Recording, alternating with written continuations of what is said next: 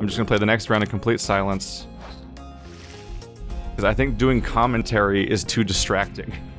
Although I couldn't, I could just win the next round because of the fact that I've practiced several rounds now. But it might be because I'm just not talking. And this will be an age-old testament. If I win by not talking, then this will be a great example of how doing commentary makes you shitter, shittier at video games. And so on. no. Okay, maybe it's not a great example.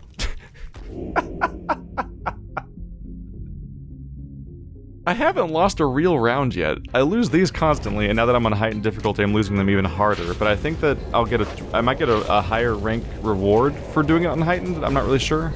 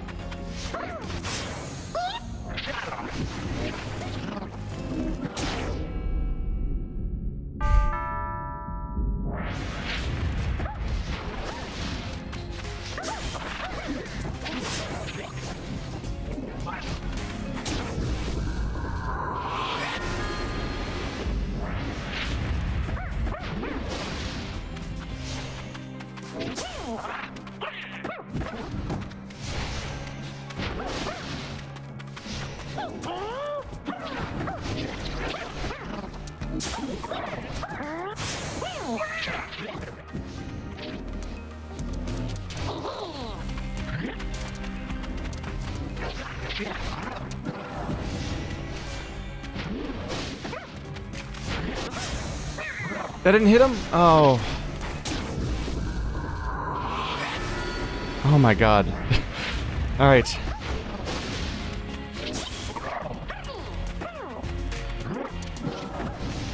They're constantly trying to get me with that. Come here. No, I didn't jump in time. Uh. I think this game does time dilation that really screws with me. I think time takes different amounts of time from moment to moment. And that's really screwing with my ability to play the game. Wait, I got you. Oh.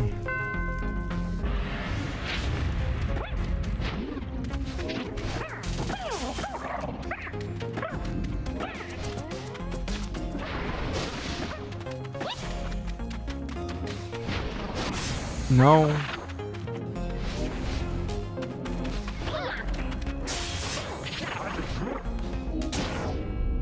What happened? Holy crap. I...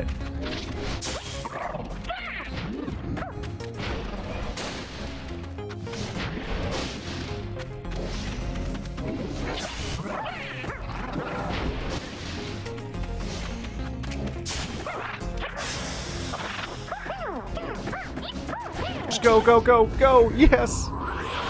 Ah! A little more of that, come on. I lose in one more go, I think.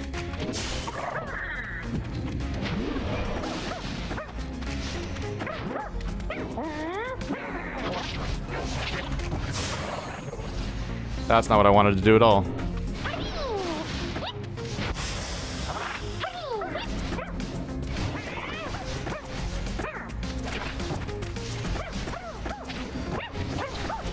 Oh my god, I made it.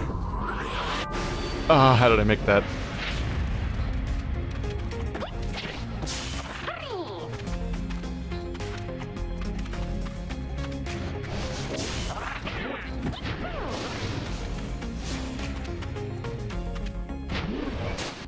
What? Oh, I thought I was out of the way. No! How? I don't... Oh, God. I can't process.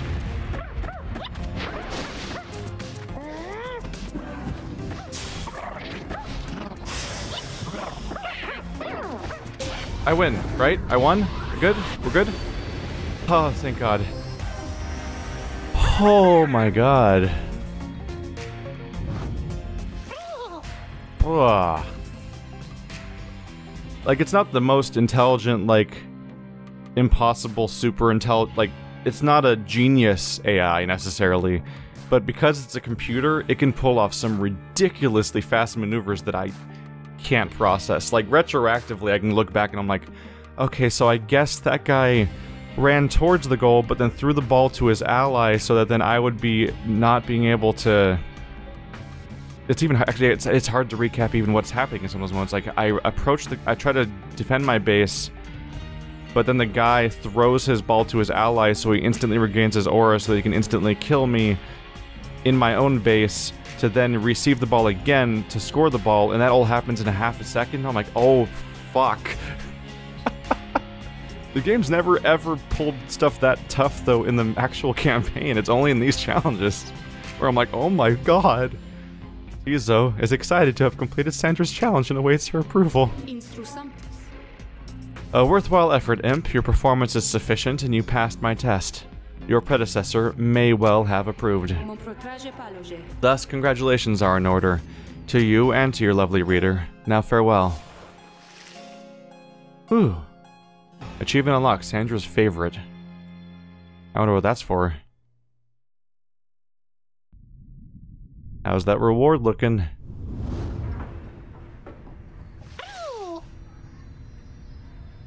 Tizo is happy to be back and wonders what it is that Sandra granted you.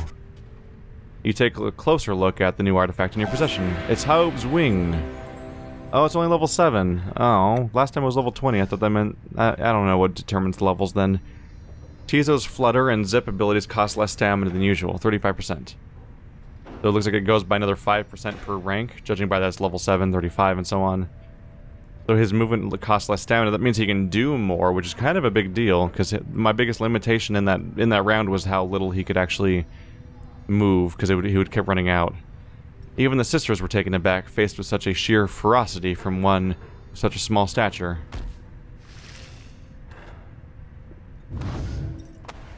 Put that down with the other ones, I suppose. There we go. Our character-specific upgrades.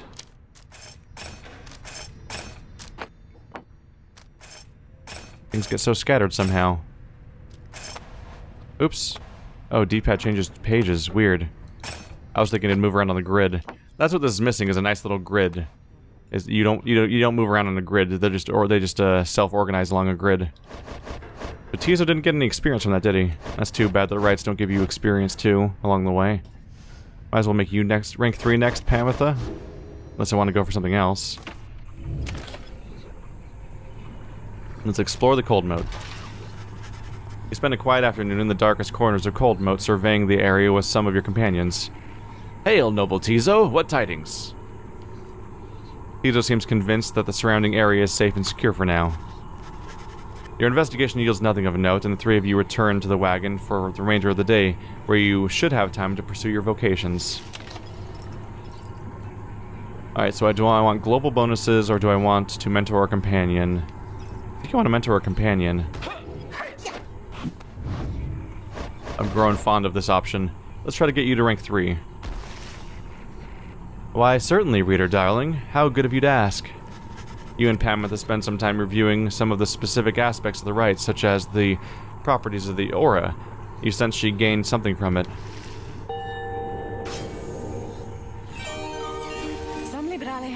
All in all, having to unlearn everything I've learned is going somewhat faster than expected. We want to go down here, right? Because she gets, major bonuses to her character. While casting her aura, Pamitha can trigger an aura blast that banishes nearby adversaries, or Pamitha is banished. If Pamitha is banished while Winged Fury's effect is active, she returns twice as quickly as normal. Which is something that happens if she banish if she banishes somebody else.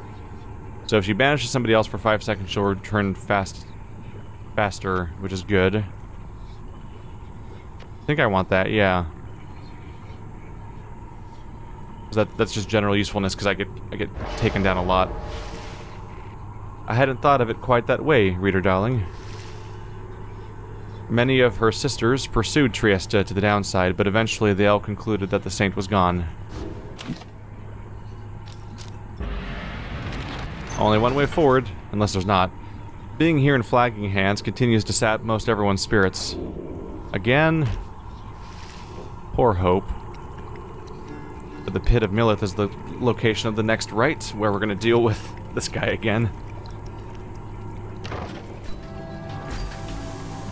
Or not? What are you, you nightmare?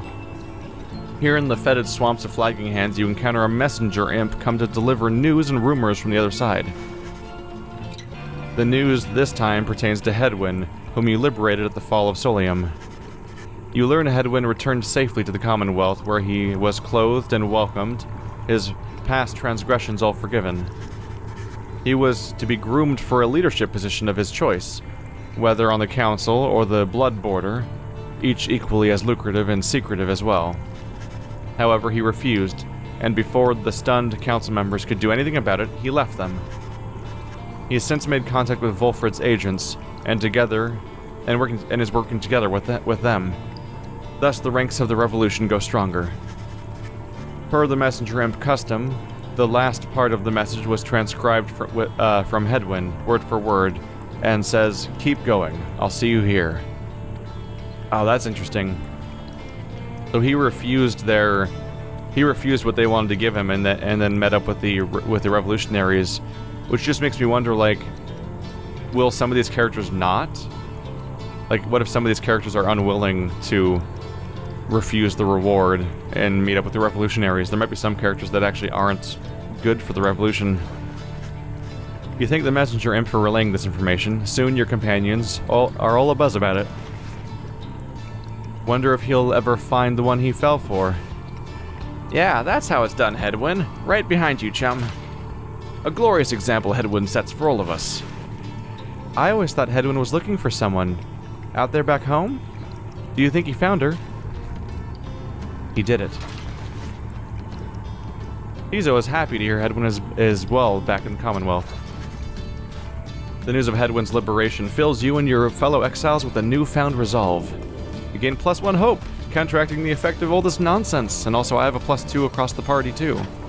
So we have an overall net net of plus one instead of minus two. Oh, more. The Pit of Millith and the Scribe's Deeds. Let's stop by the store first, maybe. Uh, hey guys. Always nice to see some more customers, because, you know, I don't always get too much around here, and sometimes it gets kind of lonely here, I guess. That's a plus four. Too expensive. Burning Promise. After dousing the adversary's pyre, the bearer earns a reward up to three times of plus five. Ooh. Another type of reward separate from the contract itself. And the bonus is nice.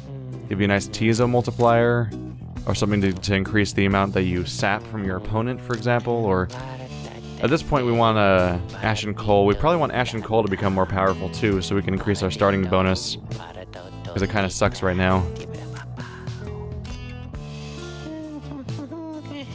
I think things are getting harder now to a point that I don't, I don't think I'm going to use this ever again.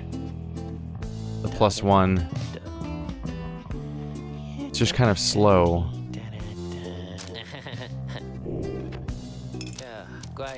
I'm gonna go for you instead.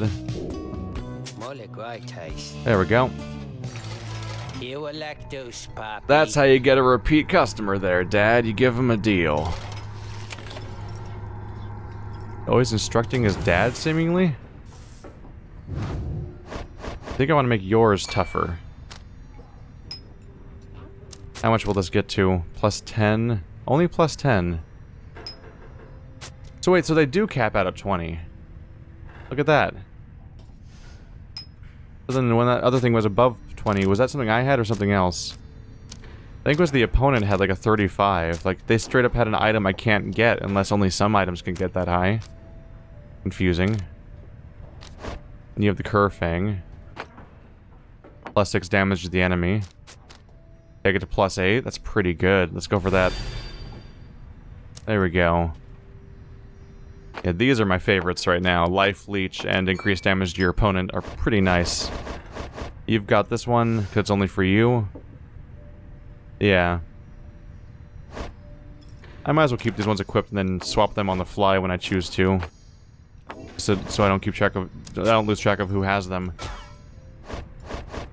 The progression seems to suggest that maybe this game's shorter than I thought then, because right now I have four characters that all have, they all have their own spe specific items right now. Only two remain. There's only two characters that still need to do their rites. But we know that at least one new character needs to join. Possibly two? Because we don't have a sap and we don't have a bog crone. So that means that of these, we have these four characters, then one other. So I have five successful rites so far. I mean, or trials or whatever. I've done five of the tests, and I presumably have four to go because there's these two characters, and I still need to get a bog and a bog crone and a sap if we're continuing this supposed promise of getting every mask filled, which seems to be intended still. I think.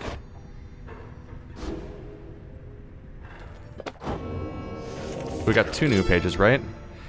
The Scribe's Deeds. This is Golgothanian again. We're back in chapter one. What's the previous page? Eight scribes. Yeah, that was we had that one before. I wish to re be remembered not for boastfulness. Thus, I refrain from detailing our exploits across the land, save to say that they were numerous. Know that only through our combined strength of arms and wit did we withstand this savage land, such were the monstrous dangers that it posed. I came to see that all the tremors which I heard at bedside in my youth were based entirely in fact. So great were they, they blotted out the sky. Such was the evil that we vanquished, that the remnants of it yet shine under the stars, and in the end, it was the stars which guided us towards our truest calling. The Pit of Millith from Luce Glorian Hundred Mines. If there is one celestial landmark in which I would never again wish to tread, unless of course the stars beseeched me to, it has to be the pit pit. 'Twas dark in there beyond all reckoning, if not for Milith's sorceress lantern. All of us, we all would have been lost. What lies within the pit is not to be invoked, although I have no doubt our goodly Underking shall be unable to prevent himself from boasting of how Milith has uh, sealed it there for an entire age. The thing yet lies there, on the edge of death. Through its connection to the stars, it gives the pit significance. Walk there with courage and a steady mind.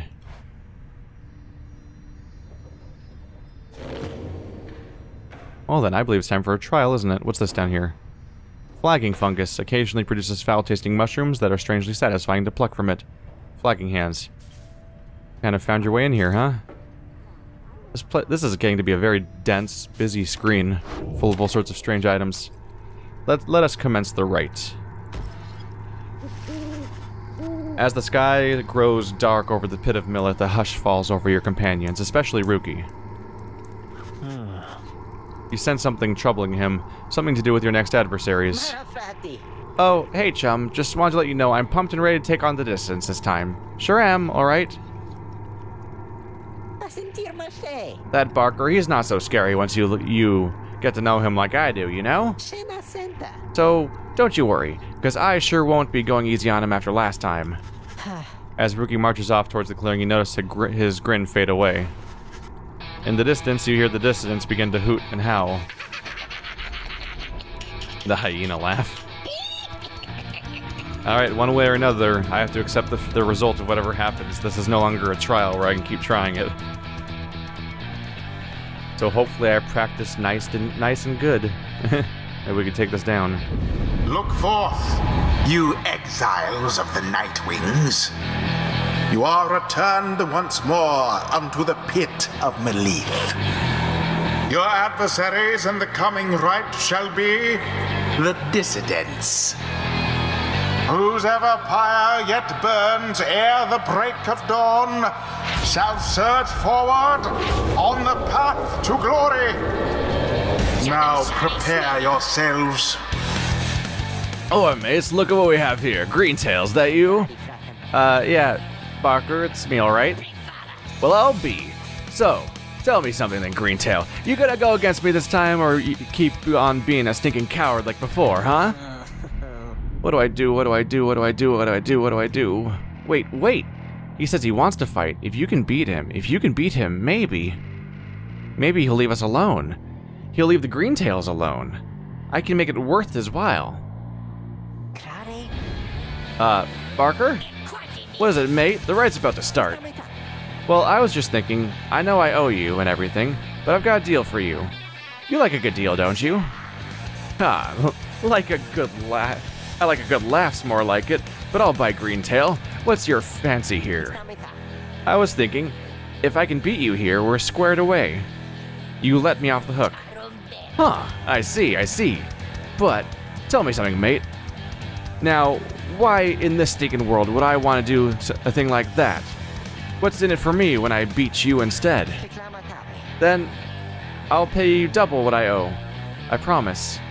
But you have to promise too, Kur's oath. Oh, really now? Double or nothing then, is it, eh? You drive a hard bargain there, mate, but alright, it's a deal. You beat me in my pack right here, right now, and you're debt-free as far as I'm concerned. Of course, if you don't, you'll be... I'll be fleecing you for all it's worth. You, your stupid uncles, and that dear old mom of yours. See you shortly then.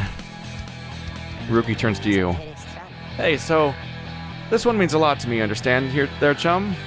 Let me go against these guys, and I'll make sure we show them up, okay? Oh, God. this game's gonna give me... This game's making me like these characters. Uh, this game's this game's making me like these characters, and that's gonna turn around and give me like constant anxiety over every goddamn match I play. Is what's gonna happen, because every single round, not only do I have to worry about the fate of all these characters and whether or not they get to escape this place, but now like other things are going on the stakes. Like they hinted at that before with uh, Tizo, like oh Tizo has a personal stake in this round a little bit, but now it's like Rukey's like making bets, and it's like oh god. Alright. Scribe Rock. Plus 12 presence. That's why he's got like a gargantuan bubble around him. Keen Eye. Oh god. So he can double jump and he has a 50% further aura. On top of having a gargantuan presence. So he can just shoot his this huge bubble around. So he's like, that's like the antithesis of how his, his team is generally supposed to work. Wait, what? Oh, I can look at his team of characters that aren't in the rite right now. Weird. There's Scarly and Walfie. They've got... After plunging into the pyre, the bearer has a chance to avoid banishment. 85%? Oh no. So they're always going to have three people, basically. That's rough. And they all have the longer, longer distance and double jump. Oh god. Okay. You can feel the, go look at the view, the full bio. So, you have a bio. Barker. He's a troublemaking cur who thrills in the defeat of his triumvirates who stand against him. He was an accomplished hunter, and the people of Commonwealth still, uh, did have an appetite. That's the same dialogue as before? Yeah, I think it's the same dialogue as before. You're at, his crime is indecency. He has violated one of the Commonwealth's most sacred landmarks, and his his uh, motive is anarchy.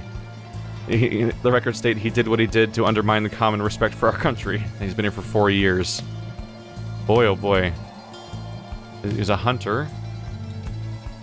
Which we basically already knew. The Alpha Chiefs, uh, oops. While few traditions survived from the days of the Empire, hunting was certainly an exception. He's from Sagathol, born on the 12th of, of the 12th moon, suggesting he's carefree and spirited.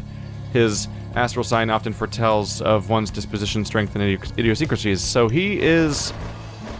He's got a gargantuan aura with long range, and they all kind of have that, but he specifically has extra presence, so his aura is more bigger than all the other bigger auras. So great. That gets me into some trouble.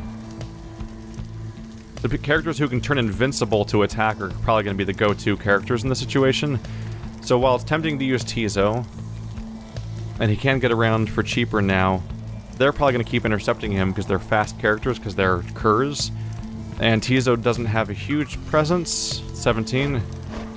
Pamitha and Sir Gillian, or Sir Gilmum seem like the go-to choices because uh, Pamitha can do a charge through enemies' attacks that makes her invincible while she does it, and uh, Sir Gilman can uh, do that thing where he attacks where his tail was, which means that he can like also do an attack where they lunge around and be invincible. Meanwhile, Rukey, of course, I need to use. Go on. We can try this, sure. So your quickness is 18, 25. You guys are weirdly fast, aren't you? Okay. Your quickness is not amazing, necessarily. Let's bring Rukey. Rukey. Alright. This is the... This is the life leech and this is the bonus damage. Who should I give them to? I guess mathematically it doesn't make a huge difference. It's all it's all about the gap between your team and the enemy's team as far as current life points goes. Plus nine and minus eight, like plus nine for us and minus eight for uh, for them are like almost the same effect, effect ultimately. Sir Gilman.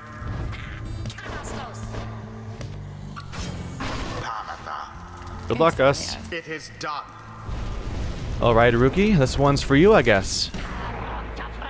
All right then, Greentail, bring it on. Or it's your dear old mum who's gonna pay. That's just not nice. It's just not nice. Now Whoop. begin.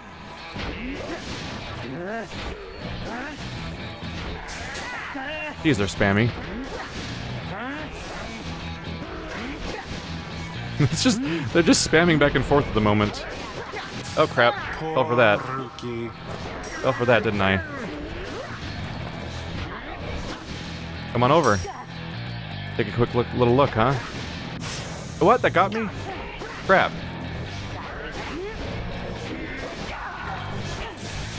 My bad. My bad. Oh, that's bad too.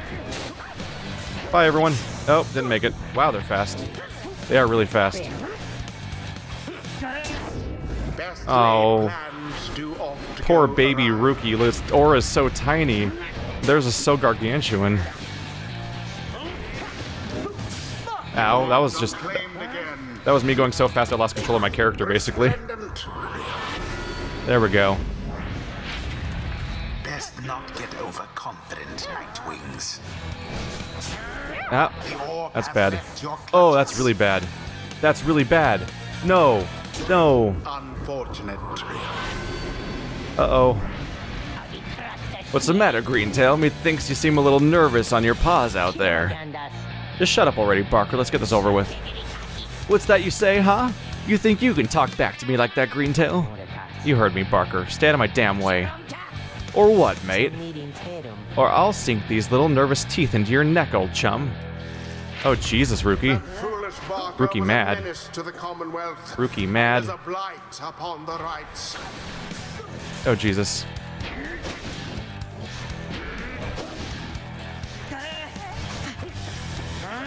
Remember Rukey. everything which you hold. Oh, that was a good jump time. Okay, Do you believe you can prevail? that was just not the right move at all. Oh, I lost control of him again. No. Damn it. Barker Ashpaw sure is rather quick. Damn it. You seem unable to stop these Okay. The worm's so fast I lose track of him when I don't mean to, which is a problem. Oh my god, Rukey. people. Doubts to the How does that keep working? MVP Rukey. I am really bad at playing as. Pamitha, is the takeaway, really.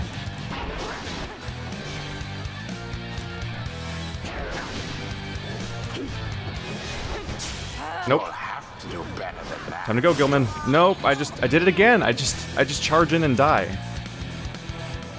No. Alright.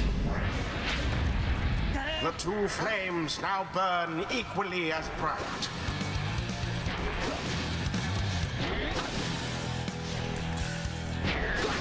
No, Rukey.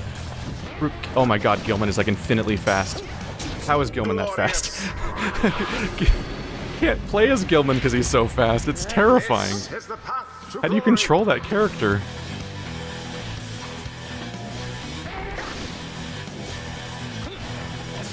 Nope. Oh, I couldn't jump anymore. Whoops. I tried to jump and I couldn't. Be gone. No, Rukey. No, that was a bad time. Whew.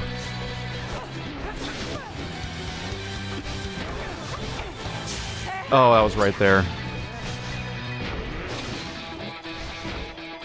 Do, do, do, do, do, do, do, do, do. No, how did how'd that happen? No, Throws himself into the that's bad. That's really bad. okay. Do, do, do, do, do, do, do, do, do, do, do. This theme song. Out of control. Nope. Bad call. Bad call. Bad call. Ran out of stamina. I'm going at it again. Yes! Oh, Rukey, you badass.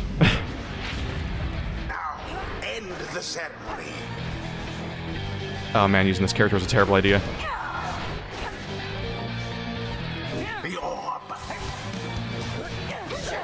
Dropped. That's bad. Yep, there it goes. Whew. Rukey, I need you back right now. Oh, I really wish you were back. That's oh, that was a bad call. I just I didn't mean to do that at all. Wow, they're just spamming over there.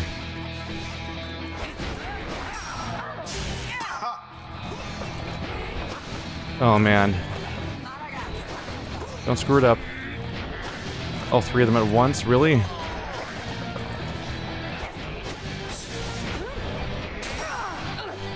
So fiercely. Yes! Get in there. There you go, done. Rukey. The Nightwings prevail again. They brushed aside their adversaries without too much trouble. This game became more stressful than PlayerUnknown's Battlegrounds. It's complete. Woohoo! We did it! We got him! Ah. Greentail, you. You got us fair and square, mate. As fair and square as this stuff gets, right? Uh, so my family, you... You'll leave alone. You said you leave them alone. Ease off there, Greentail. A deal's a deal's a deal. Now then, me and my pack had better step it up for when we see you and your mates again. I'll be looking forward. Rukey watches them him depart, then turns to you as expression softens. Don't know what to tell you, chum, other than I really owe you. We There is much Nailed it. from this experience. Holy crap. I didn't want to fail Rukey. they give you these characters I'm afraid of failing now. I'm like, no, this is not... This is storytelling anxiety I haven't been ready for. This is like... I think last time I felt anxious about characters this way was my blind playthrough of Walking Dead Season 1. Until the next rite. And that wasn't even a liberation rite. That was just a bet about, like... If, I mean, well, well, almost is worse than liberation rite? It's the, the fate of their entire family.